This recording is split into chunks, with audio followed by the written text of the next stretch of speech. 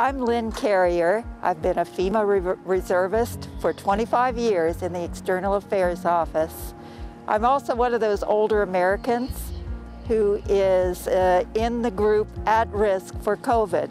For months, I really felt a lot of fear. I saw those TV shows with beloved parents and grandparents who died from this disease, their lives cut short. But then there was a development a vaccine. It was a gift from science. I was so happy to hear about it. I was probably one of the first to get a shot as quickly as I could. I've now had the second shot.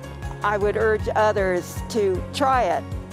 It's worth it. If enough of us do it, we can defeat this pandemic and get that wonderful feeling that things are getting back to normal.